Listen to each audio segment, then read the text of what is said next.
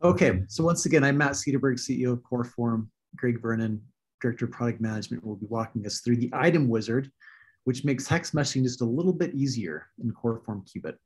So today we'll be introducing Coreform Cubit, uh, in, introducing hex meshing, then we'll give a demo of how to use the item wizard on, on a few parts and then have a Q&A so whenever i'm coming into a new subject it's always nice to know like those that are well versed in the subject how how do they feel about it? Like what emotions should i have as i as i kind of come into mastery with something? So we did a poll at Coreform and asked some of our hex meshing experts here what emotion best describes for them the process of hex meshing apart? And there were a number of words that were shared but we thought we could best represent this through emoticons and these are generally the feelings expressed at Coreform with people that have made a career out of the hex meshing problem. Um, there's generally not a lot of, I mean, there's, what, were, what were the words, Greg? Distress, um, anguish, pain. Anguish, pain. Hex meshing, it doesn't seem to be anyone's favorite part of creating a model for simulation.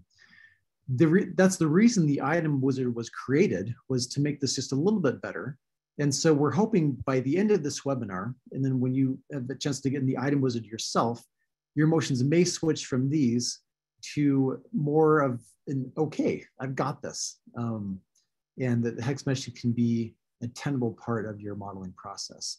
We just have, we can't go on before acknowledging that this pain is exactly why Coreform exists as a company and why we acquired Cubit. Uh, we're creating a new solver based on isogeometric analysis which really is has been invented directly to address the issue of creating hex meshes. Um, once Coreform IGA is ready, hopefully later this year, then we expect the emotion surrounding this to switch even more to something like this, where hex meshing is just eliminated as, as a cause for consternation. So again, that's kind of our motivation as a company is to eliminate this pain and greatly accelerate and improve the, the workflow between CAD and simulation. But today, our goal is to just get you through for traditional modeling workflows. Um, so, so a little bit about Coreform Cubit, if you're not familiar with it. Uh, it's a software that's been around for a few decades for advanced meshing for challenging simulations. Um, there's all sorts of strong uh, tools in the tool set from CAD import to the semi-automated hex meshing that we'll show you today. Many Cubit users rely heavily on Python and scripting Again, we've added IGA pre-processing for the from IGA solver. Um, and so if you haven't, if you're not familiar with Cubit, go ahead and grab a free trial on our website. Just a couple other plugs before we jump into the meat of the webinar and I hand off to Greg. Um, the, uh, I, I, first the learning objectives, if you go ahead, Greg. We're talking about four things today. First of all, the big picture, like to talking about like what shapes can be hex mesh, hex meshed. Uh, we'll go through some slides to explain that. Then when Greg goes into the live demo, talk through the gotchas, some common issues that make hex meshing challenging. Uh, Greg will reference all of the powerful Cubit hex meshing features and then walk through the item wizard, which puts them all together in a nice straightforward workflow. An item um, we'll define once and for all today means immersive topology environment for meshing. Uh, we'll just call it the item wizard. Um, okay, so now just a couple other points. Uh, you can view all the webinars we've done in the past on YouTube. We do one or two a month. It's a useful um, repository. And then um, also just make you aware of Coreform Cubit Learn. If you're in academia, it's a way to get Cubit in the hands of everyone for free. Uh, the only limitation for non-commercial use, and there's a 50K element export limit. Okay, so this webinar is being recorded. Keep your questions coming in throughout the chat and the questions window, and we'll answer them back through the webinar. And with that, I'll hand it off to Greg. Thanks, Matt. Yeah, I'm uh, just excited to have seen where Cubit has come from, and I'm very excited for the future, as Matt mentioned, for things like Coreform IGA and just continuous improvement, even in our Cubit product. So what I thought I'd do today is just talk about hex meshing. You know, why is it so challenging? We saw those emoticons earlier, and so I just thought I'd talk about fundamentally the challenge and why maybe hex meshing is a bit different than tetrahedral meshing, which we may all be aware of.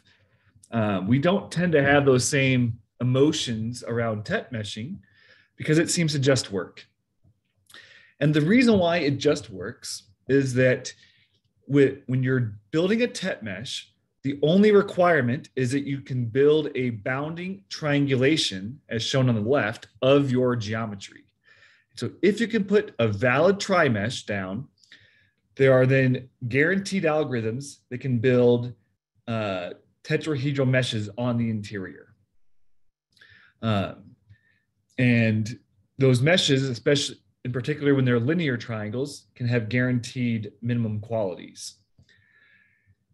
And so tet meshing really is just a matter of uh, uh, building a fine enough tri mesh so that you can put in a tet mesh. And you we oftentimes might call this tet bombing, where we're just throwing a lot of tetrahedral elements at a problem to solve it. There are issues in simulation, in particular for nonlinear analyses with tetrahedral meshes and nonlinear analyses in structural mechanics problems that they tend to be really they tend to be overly expensive and maybe challenging to converge to solutions. And so that's why hexahedral elements or hexahedral meshes are still in many cases preferred. So then the challenge, the corollary to that then is for hex meshing, if we have a bounding quadrangulation, as shown here on the left, there are no known algorithms. In fact, we don't even know uh, mathematically if a quality hex mesh can even be produced on a given quadrangulation. And so, because of this, um, hex meshing can't be fully automated like we can with text, and it requires a human in the loop to assist with identifying um, how to build a hex mesh. Um, and that's really the fundamental challenge. Challenge. It's an open mathematics question. But what we do have, and what tools like Cubit and other meshing codes um, have, is that they have found ways to build um, hex meshes on simple shapes and shapes that can be described with a recipe. So in the left case, we have a general shape. This is a it's a cube with one of the corners cut out with a sphere, as you might see like on an interior pocket of a uh, of a mechanical part that then maybe has fillets you oftentimes will get this kind of shape. This is the polyhedron mesh scheme in Cubit, which really is just a bunch of simple mapped meshes that get arranged in a certain manner to fill in that certain CAD topology. In the middle, we have a sphere, and there's a sphere hex meshing scheme in Cubit, which again is really just a decomposition of a sphere into seven mapped mesh regions. Um, and that becomes the recipe for building a sphere mesh.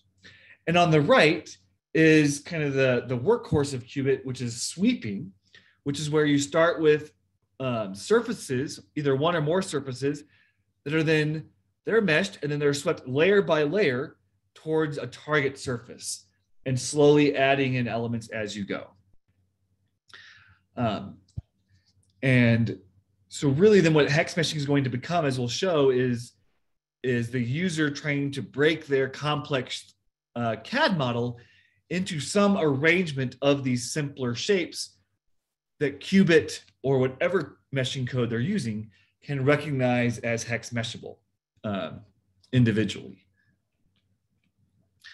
But also in order to do this, there's kind of like this larger algorithm that even as a as a human, we need to be able to actually even see those shapes or get to those shapes.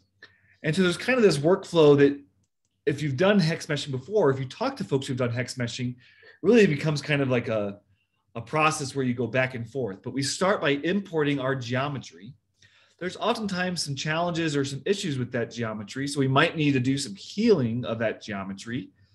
Sometimes the healing, or sometimes the geometry is so broken that you have to actually go back to your original CAD application and maybe fix it there and then come back to healing. And then once you've got it sufficiently healed, you might then do some defeaturing so that you can get so that it can be simple enough for you to eventually decompose it. And again, you might find some challenges during your defeaturing, which require you to go back to healing, which may require you to go back to the CAD application. Once you've got it defeatured, um, you may then start decomposing your geometry into those small, simple shapes that we have those recipes for. But as you're decomposing, you might find that, hey, that's a feature that I need to remove because it's too difficult for me to decompose. So I might go back to defeaturing and again, back and forth. And then finally, once you've decomposed it, you may go and you may build your mesh. And once you look at your mesh, you may decide, well, I could do some more decomposing to get higher quality meshing potentially. And so again, this process of cycling back and forth um, can occur. But this is generally at a high level um, for those of you who are new to hex meshing, kind of the general workflow that you'll use in building a hex mesh.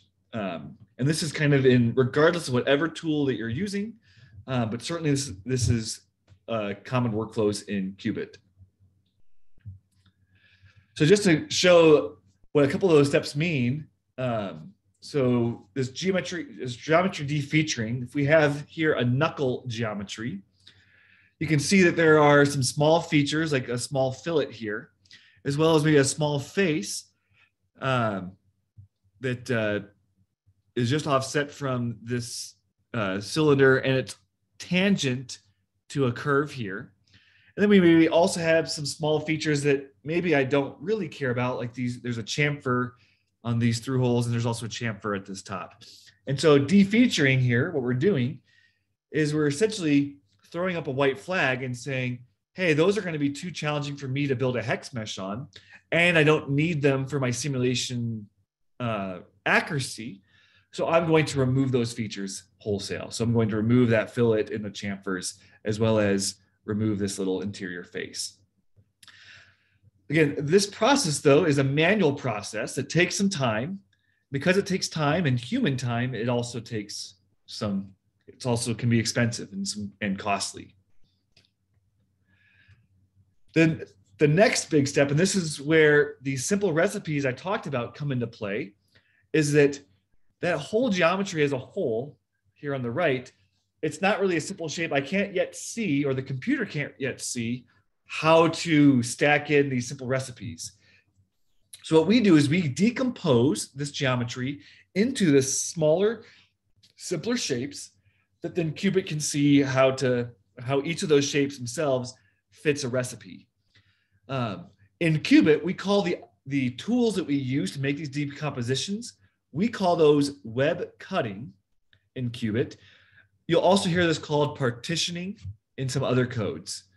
Um, but then as you can see here, again, this is taking a human going through uh, either manually or with some tools to help them to find where those cuts are. And so again, that takes time, labor time, and takes money. And so any improvements we can make to these workflows that reduce the amount of time spent can save you um, or your company money. So now what I'd like to do is I'm going to switch over to a live demo portion um, showing the item wizard um, inside of Cubit. Uh, and while I'm pulling this up, Matt, I might just ask if if any questions have come into the chat yet or not. Uh, no, you're good. All right. So I'm going to ask if people can see my Cubit um, application. I can. Yep. Okay, good. So um, this is the Cubit um, um, meshing tool from Coreform. If you're not familiar with just kind of a general layout, we have a model tree here on the left, which will show us volumes as we're creating them. As we have things selected in our application, we'll have information shown up in this properties page. We have a command line um, interface uh, tool here on the bottom where we, every single command that's done in the GUI has an equivalent command in our Cubit command language. And you can track what those commands are that you've run by uh, down here in the bottom here, there's a history tab, which will show you a running log of those commands that you've run. And then there's also uh, from a from the the default as Cubit ships, there's these panels here on the right, we have our command panel, which people who are experienced with Cubit will oftentimes use the command panel. Um, so it's kind of more, maybe more of an intermediate to an advanced user starts to shift over to the command panel. But there's also tabs down here for item and power tools. If you don't see these tools, or if you don't see anything on here, you can make sure to add them by going to the View uh, tab in the menu bar, and you can add or remove certain items. So for instance, I can remove the Properties page by clicking on Properties page, and it's now gone away. And so if you had your screen open and you didn't have Properties page, you'd want to come here and click on Properties page. And likewise, if you didn't have item, if item was not um, available for you, you would come into view and then it's a little wizard hat with a wand is the icon, but it says item. If we click on that, item will show up and we can then navigate that or make that the top item by clicking on its tab. So once you've seen this, um, or once you're in the item wizard, it kind of gives you a high level overview, which closely lines with the workflow that I showed previously. So this first little icon here, there are icons that go from top to bottom to kind of talk or walk you through the different steps of preparing your model. But they also are shown here as hyperlinks inside of the task description. So again, the first thing we're going to do is we're going to import, either import or create geometry natively, but in this webinar, we're going to just import CAD geometry and it's walking you through kind of setting setting up and preparing this model. Again preparing being doing those healing operations defeaturing decomposing and then we'll go on to meshing. Um, there are also some oops i've got a development build. So there's some links here that will bring you to the documentation in the production versions of Cubit, which will help you also understand the item wizard. Um, so we'll start by clicking on this first hyperlink to import or create geometry. And that then brings you to this next panel where we can choose to either open a pre-existing Cubit project, uh, maybe that uh, one of your colleagues has provided you, or that maybe you created um, earlier um, and you want to just restart.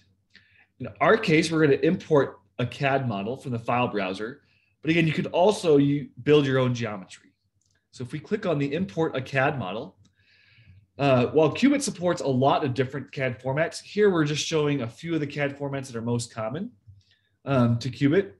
So for instance, we can import an ACIS file, which is the native file for the, the geometry engine that Cubit is based on. But we also support uh, step import. So I'm going to import this item example geometry, which you can actually find in the tutorials for Cubit. And it's now imported for me this assembly of three components. Once I've finished importing my geometry, I can click on the little done hyperlink at the bottom right of my item wizard. And if I keep on clicking done through these steps, it brings me back to my task description and I'm ready to move on to the next stage. Um, now, this is a, a spot where if you wanted to get some initial kind of model sizing set up, you know, we typically have budgets for how big your computer is and how many elements you can have just from a performance standpoint. Um, we do support um, kind of setting your default again to tetrahedral meshing which for many applications is quite valid to use tetrahedral for. And you can even put in like your element budget for about how many elements you want to have in your model. So say if you wanted to go down the path of tetrahedral meshing, we could say maybe put in 100,000 elements and apply that. And it would apply the scheme to prepare for um, tetrahedral meshing. But again, I'm going to switch back over to hexahedral as my um, default mesh scheme here. Um, so now we're going to go on to the next stage. So we kind of done some of that maybe initial prep work. We're going to prepare the geometry. Now this little um, task within here has a button to run diagnostics on these different kind of four key things to, to fix invalid topology, which might be something that that's where the healing aspect of Cubit would come in, but also to remove small features. Um, and then we'll also want to make sure that our volumes or our mesh is, is well connected and that we have meshable topologies. So I'm going to run the diagnostics here. And so as we can see, it's gone through and it's it said that these geometries are valid from a from a topology standpoint. So there's no need to heal this model. If we did need to heal this model, we would click on this hyperlink or fixed invalid geometry, and we could run the analyzer and then fix any issues that occurred. But again, this model doesn't have any issues. So we move on to removing small features. And we could select either all of the volumes in our, in our model, or we could select just a few um, to then detect small features uh, um, on. And so if I um, if I uh, click on this, let's see, I might just want to, here we go, find small features. And the small feature size here is maybe, uh, maybe 0.1. And so I can change my small feature size to 0.1 and then detect uh, small entities. And so now if I expand these found things, it will highlight, in this case, I've got a small um, surface, so a small little fillet here, that, again, if I mesh this with hexes, you can imagine that to capture this really small fillet here, I'm gonna have to have a small element edge to capture this.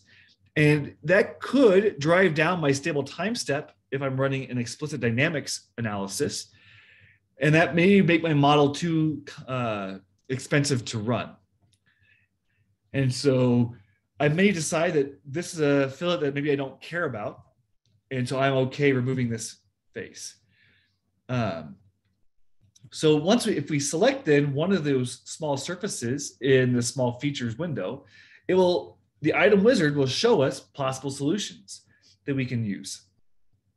And if we want to just simply remove this fillet, the probably the best option for us to do, oh, excuse me, pardon me, um, is we can look at removing the surface. And if I just click on remove surface, we'll see a blue kind of outline shows up and is previewing what the geometry is going to look like if I apply that operation.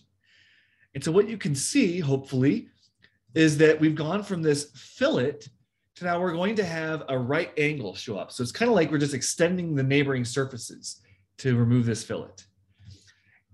And you know what? That's what I want to do here is remove this fillet. So I'm going to click on then execute. We can see now it's actually gone ahead and it's removed that fillet. I can then come back to my small features list and find another small surface. And if I look at this, maybe I don't see this. Maybe I'll click on a different one. I maybe don't see my whatever this small surface is. So I won't, um, maybe I'm curious about where this is located. If I right click on it, I can get options that show me I can do like a fly in and it will fly me into this vert or to this small surface here. And again, so this is uh, uh, another small fillet that's going to drive down my stable time step for an analysis. And so I want to do that same operation of removing neighboring surface or removing the surface. I'll go ahead and execute that. And I'm just going to make my graphics tolerance here. I'm just going to make my graphics a little bit nicer here, just so it looks a little bit better for us. We're going to go to another surface here. And again, another, another small fillet. Now, I could also, there are these small curves, which we'll see that these small curves correlate again to these uh, surfaces. Uh, but what I usually, what you know, what I like to do is is whenever you have a small curve, see if there are any surface operations. So in this case, you can see there's an operation to remove surfaces, even though I've selected a curve. And so if I then choose to remove this surface, right, and there's a couple surfaces I could maybe choose. Sometimes it might say if I select a certain option, there's going to have some error because that's maybe an invalid operation. So it's not perfect, but Cubit is trying to help identify maybe operations that we could do and we can select ones that work. So I'm going to select this remove surface 35, which should remove out this curve as well as a small surface. Um, yep. And then lastly, I've got, again, one small surface and some small curves. which I'm going to uh, remove as well. So, Greg, there's a question from Ishak. He mentions there could uh-huh. be any number of small features. Um, seems like manually checking and removing all of them could take a lot of time. Yeah, um, it certainly could, and that's you know going back to our to our slide deck where we talk about that uh, you know this can be an expensive operation uh, to do this manual cleanup. Um, that's where I mean that is where there can be uh, some challenges. Um, now, what I'll say is that once as a user, as you if you know, as you become more proficient at Cubit, Cubit has a command language where what we can do is we can actually write, we can take, take these commands like remove surface 18 extend, and we can start to now maybe do some logic where we can say, I want to select all of these small fillets. Um, so select these fillets um, in the uh, using the command language and then remove all those fillets using the command language. Um, since that's more of an intermediate to advanced um, tool here, I'm not going to talk about, we'll talk about that maybe in a future uh, webinar about using the command language um, and some of the advanced options in Cubit to accelerate that. But today I'm just going to go in the wizard and the wizard is very much like a one operation at a time sort of uh, thing. Um, want to mention one more thing. So I increased my small curve length a little bit, um, just so we can see maybe some false positives. Um, so one thing that Cubit's told me is that maybe there are some narrow surfaces. So Cubit has found that the that there's a, a narrow surface between these two uh, these two curves, um, as well as it's found me some small surfaces if I fly into them that's saying, hey, this is a small surface. And what I can do as a user is I can actually right click and I can mark this as okay. And then a little green checkbox shows up next to this surface. And what I want to show is if we go back to this, if we click, if we were to click on done, we'd still have a, an, a red exclamation mark around remove small features saying, hey, I am still finding small features. And so what we can do is that as we um, come through, we decide that these are features that, yep, this is a feature that I also want to mark as okay. There's a small surface here. Let's see where this is. Uh, yep, you know what, this, maybe this is a mating surface with the next level assembly. I, even though I know it's small and it's going to drive a stable time step, I need to, I need to still capture this. And so I'm going to mark this one as okay as well. Um, again, those two narrow surfaces, we're, we're showing up um, here and then on the bottom of my geometry. And so I want to mark all, maybe I just want to mark all of these narrow surfaces as okay. So I can mark all as okay. And then I've got these small curves. Because these curves were associated with either a narrow surface or a small surface, because I marked those as okay, they automatically get marked as okay. And so now, if I click done, the remove small features, the box here will switch to all green, it's okay. Uh, because the small features I have said, yeah, they're small, but they're relevant uh, and small. So, one one more question: Why does it matter yeah. to identify small curves? Yeah. So, what can um, sometimes happen? Um, I'm going to just create a. I'm going to create a curve here just so you can see this is it will oftentimes happen in in CAD applications. Uh, let me go vertex viz on so we can see the vertices. Is that you'll sometimes have a curve where maybe it has been split from some operation um, in the CAD application. So you might have a small curve like this. And if I were to say again, I'm going to use the command panel here just to prepare this example. Um, if I had, let's go like a size of one here. So if I had a really large element size that I wanted to have, the way that uh, Cubit and other thing, other tools that mesh CAD objects is they first mesh vertices and curves and they respect them. So because there is a vertex here highlighted right now, it's going to drive an element to be uh, a small element length, which can drive a small time step size, but it could also create kind of this skewed element that's maybe a poorer quality than I wanted. And so as we're going through in the wizard, if I now select or look for small edges, it'll find this small curve for me. And then it gives me these options of what I can do. I can maybe, you know, I can look at maybe like rebuilding the topology, and that doesn't quite do this preview here. That's not what I want to do. That almost has added more curves. I could collapse some vertices perhaps. So if I click on, I need to delete this mesh first though. Um, so it'll allow me to collapse my um, my vertex. So let's go execute this. And you can see now that small curve was essentially taken to uh, length of zero. So it kind of turned into like a, uh, it was like merged in with this other vertex. Um, but yeah, that's that's why you want to remove small uh, small curves. You want to remove curves that are smaller than you need for your analysis. Um, and uh, as well as small curves are oftentimes indicative of there being like a fillet. And fillets are notoriously difficult to build a hex mesh on. Um, they can be done, but if you have a hundred fillets in your model, um, if only one fillet matters, you want to remove the other 99 fillets that that aren't important for your analysis and only have to worry about the one fillet. And that's why we're removing these. Yeah. That's is a great it, question though. Is it is it the radius or the length of the curve that that matters? Um, for a fillet, it's it would be, I mean, the the length would be equivalent, or not equivalent, but it would be proportional to the radius. But obviously, you know, a fillet is typically like, you know, one quarter of a circle. But uh, we typically go by the by the the curve length.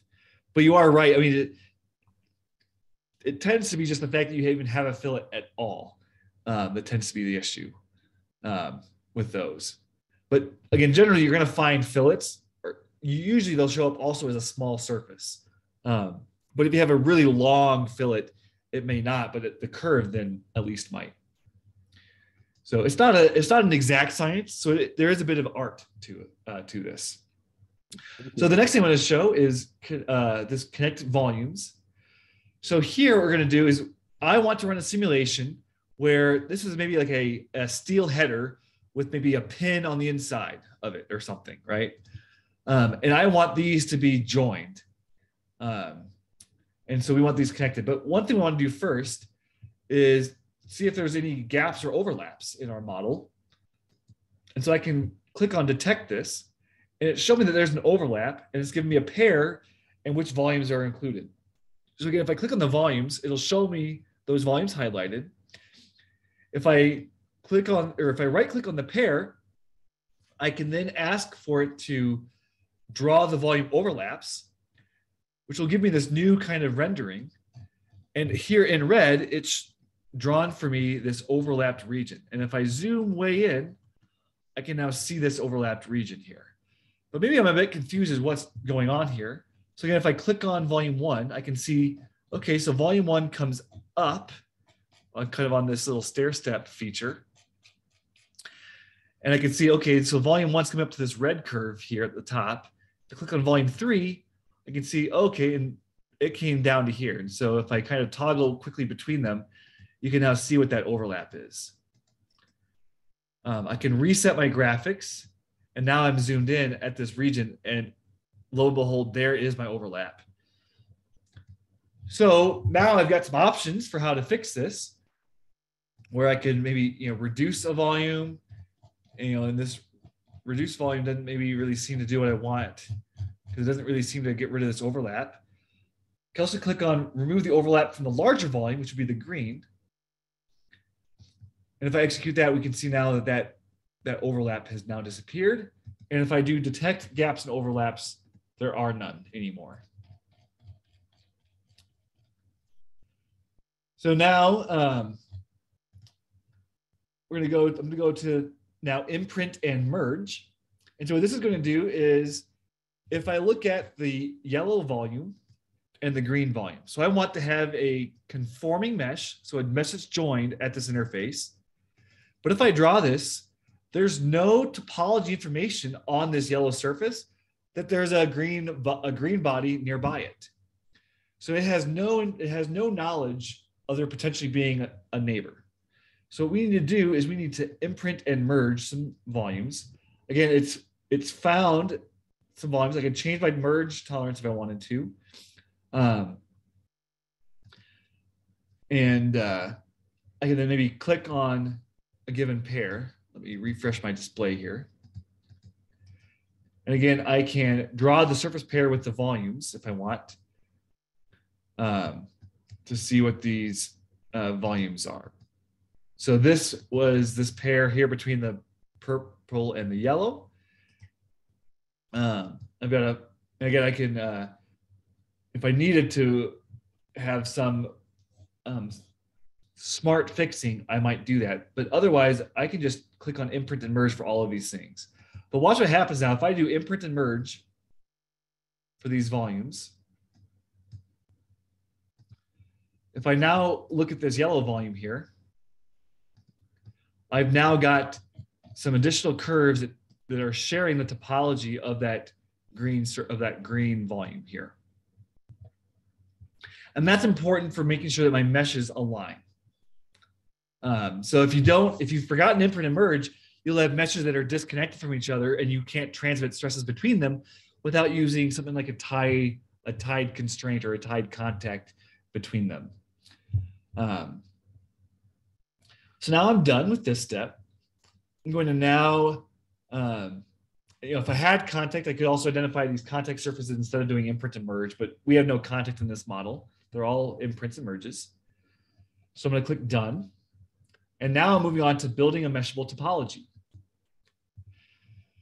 Uh, so this is a, a nifty little tool. I really encourage this for new users to Cubit, or even if you're trying to learn about maybe some advanced mesh schemes. I've actually learned using this tool, I've found myself some, some neat little tricks. So if we click on check meshability, we'll get two lists of volumes that are either meshable or not meshable. So, um, and this is based on previously when we did our, our setup FEA model, we said we wanted to build a hex mesh.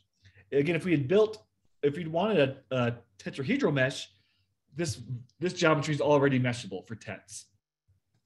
But so I can click on volume one and I now have some options here for what I can do.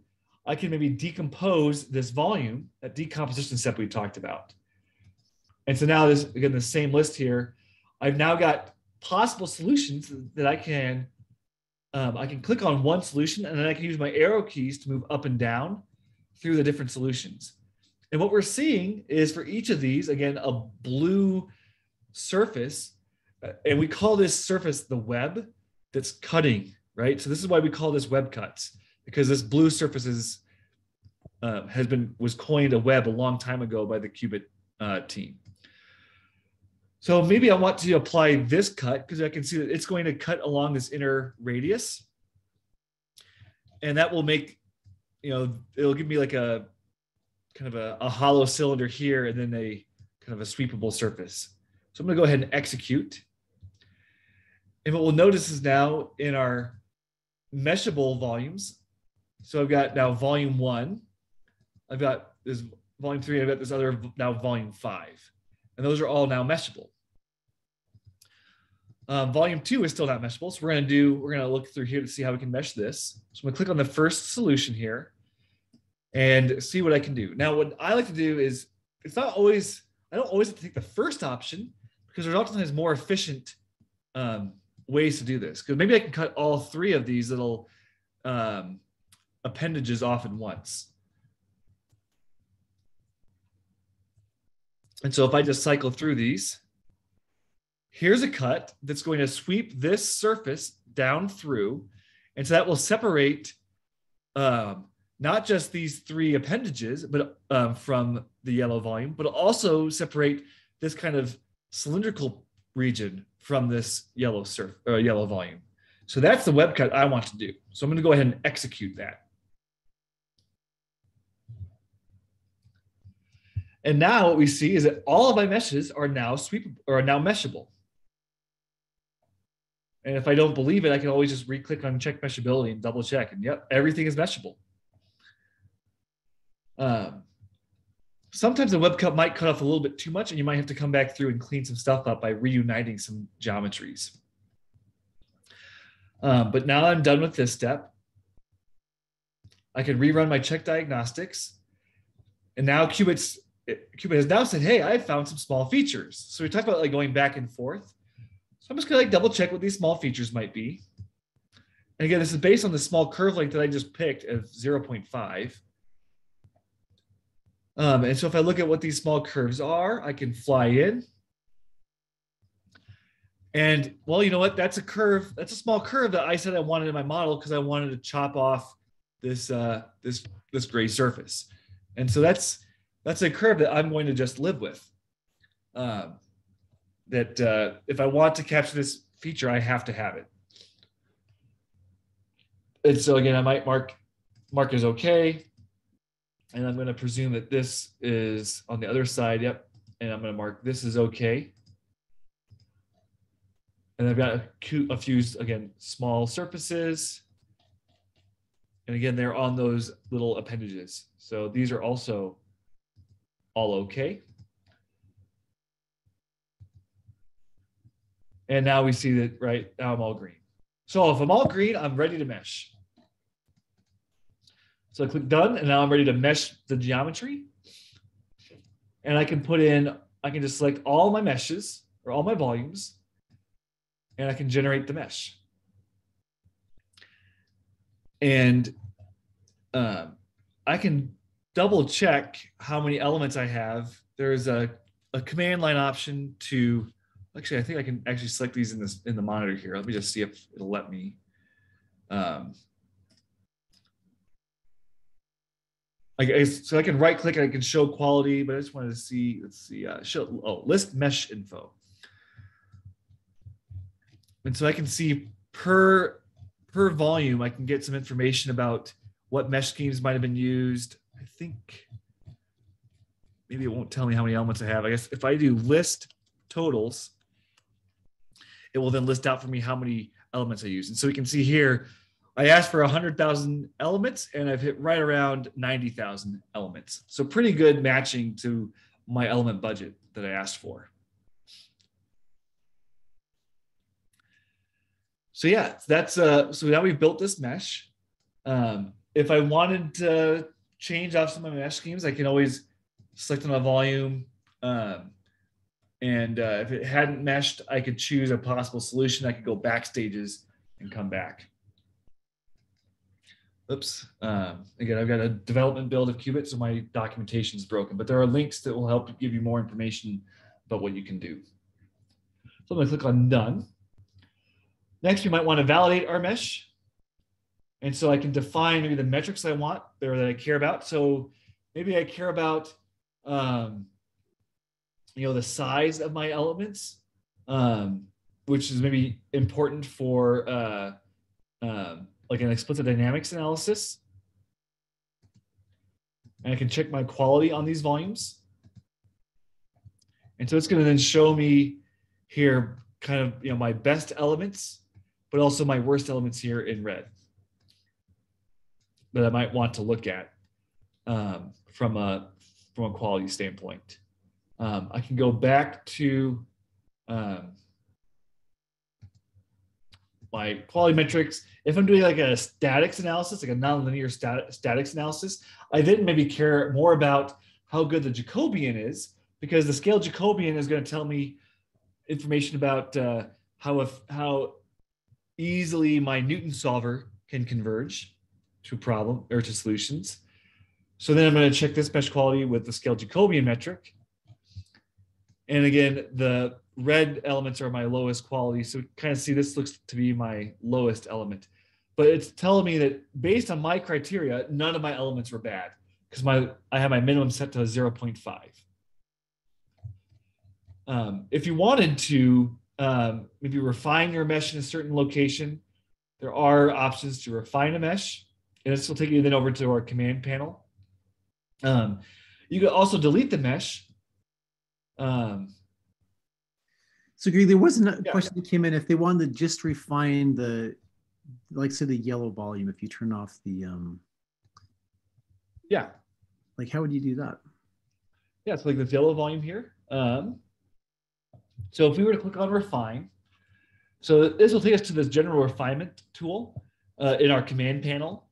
And at this point, I could then click on this yellow volume here, and I could tell it how many iterations um, to split uh, split it with.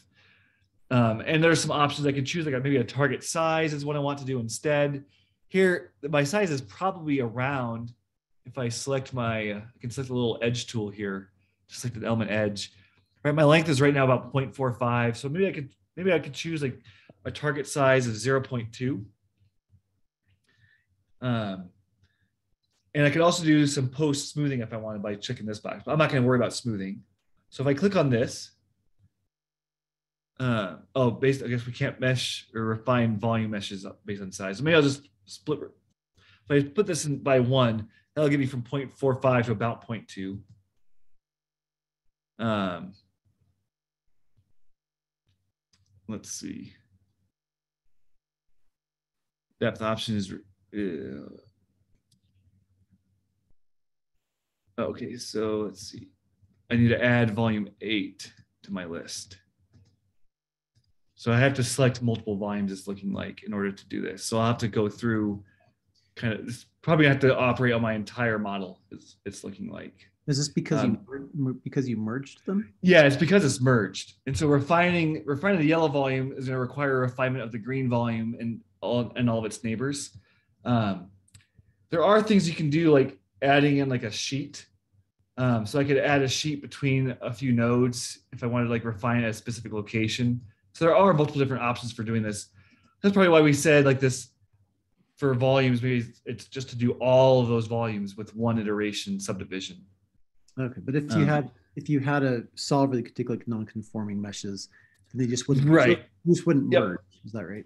Right. Yep. If I if I was using a tool like Abaqus that allows for tie constraint between the yellow and the green, and I didn't if, didn't need to have this conforming mesh here, then I could have just refined the yellow. Yep. But uh, this is one of the gotchas with hex meshing is that because those hex meshes, if we saw in the PowerPoint earlier, because these job these mesh schemes, you can see that they all natively have structure behind them. So hex meshing is really there's all, even this swept mesh, there's a structure, right? There's, it's structured in this sweep direction. You tend to get these refinements that then propagate throughout the geometry. Um, so that's just uh that's why you can you tend to see that. And that's you know what's one of the benefits with tet- with tetrahedral elements is that they're them being natively unstructured kind of sets them up for being able to do local refinement a bit more easily than hex meshes do. Um, yeah, so I just want to just touch finish up here. That so I've, I've validated my mesh. We have some options to set boundary conditions. Um, and Cubit is while it does have uh, options for materials and other boundary conditions, Cubit really is meant for is preparing certain surfaces or geometric entities for then a code to, like Abaqus that uses sets as its definition. So I might make a node set that maybe is my uh, um, maybe I want like a reference point. Oops, so like a node set one, I might call this reference point. And I might select a, a vertex on my CAD geometry. So I might select like this CAD geometry here, and then that will automatically pull any nodes that are associated with that when I export. Um, I can select side sets, which might be what I do a pressure on. Um, or maybe, or the code might let me do like a, like a zero displacement boundary condition. So I might create something here. Maybe I'll call this X min. And I'll select maybe these X min surfaces by using control and clicking to select multiple surfaces. So for this quarter symmetry model, I want to apply a symmetry boundary condition here. And so my model tree, I can now see that these items have been getting created. Um, for time, I'm going to skip doing the Y max, but I'm going to come back and I can now define blocks, which might be for my, my materials. So maybe I've got block one and it's going to be called this pin. And it's going to be these two volumes here that I had that originally had been green. Another volume, I'm going to maybe call it, just call this like gasket. And it's this purple volume. And then a third block that's going to be the, these remaining these remaining volumes. And again, I see those in my model tree. Oops. Um, oops. Like I fat fingered something. Here we go. Apply. Oh, and I gave it the wrong name. That's what I did. I got the name wrong. So let's just rename this to header. And so now in the item wizard, I'm done assigning my boundary conditions and I'm now ready to export my mesh to any of these formats that Cubit supports. So the native Genesis file format, which is another name for Exodus, which is the Sandia mesh format that's open source, and codes like Moose, the open source Moose applicate or code uses Genesis and Exodus. We want to export to Abaqus or I-DEAS, Nastran, Patran, or LS-DYNA. And so I could choose to export one of these files and save it somewhere. and that's really using the item wizard. Um, and uh, so let's go back to my slideshow now, unless there's any questions. Um, yeah, there there are a few. Go ahead and just finish up your slide because we've got yeah. five minutes and we can yeah. answer questions. So we want to, yeah. So what I say is I encourage you, you know, if, as you move forward with trying to master hex meshing, there's a few steps that you can do. You can download the free trial of Cubit. Um, we also mentioned the Cubit Learn as well. Uh, but you can sign up for your free trial here, which doesn't have any limitation on mesh export, but is a 30 day trial. Again, there's also the Cubit Learn, which is limit on export, but no limit on, it's not a 30 day limitation.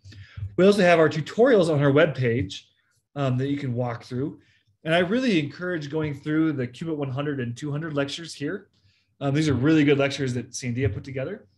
And you can also join our user forum and ask questions here and um, get really responsive um, answers from the Cubit team and a lot of people with a lot of experience hex meshing.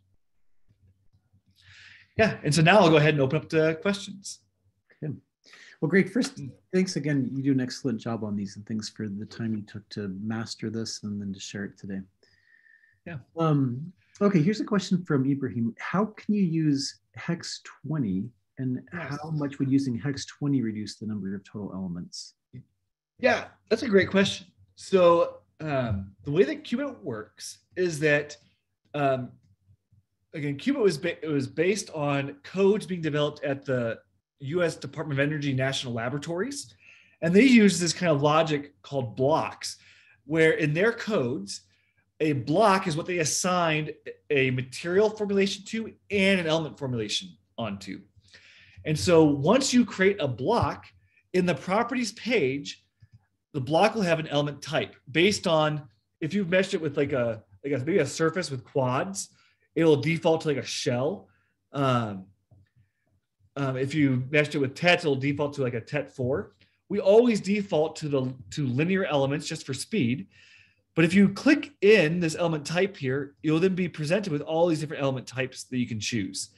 And you'll notice here that there are these element types correspond to the Exodus mesh format, which you can find on GitHub. You can find documentation.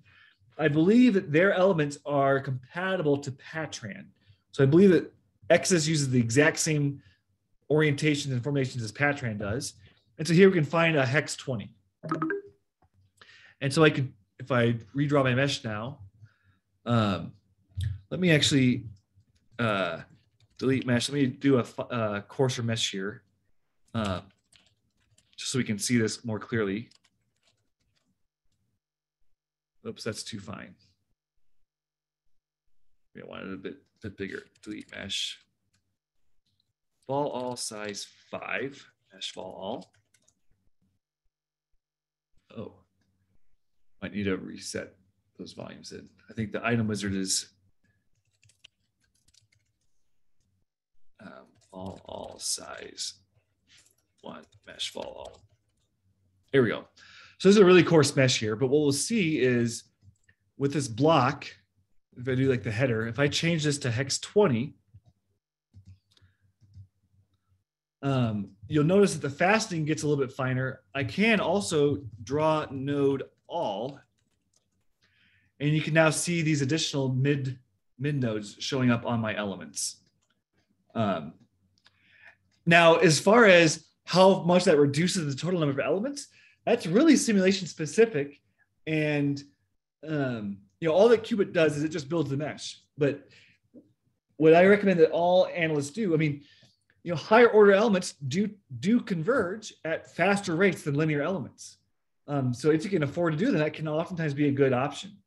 Um, in some analyses, especially like explicit dynamics analyses, there's no real, there may not be a benefit to doing higher order elements because it cuts your time step down and you get some uh, robustness issues with regards to inverting elements that kind of have made linear hexes just the, de- the, the go-to for uh, explicit dynamics analyses. But you can find that these higher order hexes can be pretty good for your um, uh, for reducing your element count. Um, and they are more they are more efficient per degree of freedom, which is really what matters, more so than the number of elements. But yeah, that's a great question. Um, and uh, we're we're uh, we're looking to make sure that we can add more support for more element types as well. Um, so I think in in future releases of Cubit, you know, it may may not be immediate releases, but I think you'll see more options for what are available here. But that's where today you would change those element formulations. Okay, Greg, I think we've got time for one last simple question. What's the difference between a side set and a node set? Yeah, that's also a great question. So let me uh maybe to make it even clearer, what I'll do is we previously created um let's now delete mesh uh, vol all size 0.25 just so we can see this. If I create a side uh, a node set on this other face, let's create a node set here um, and call this y max on these surfaces.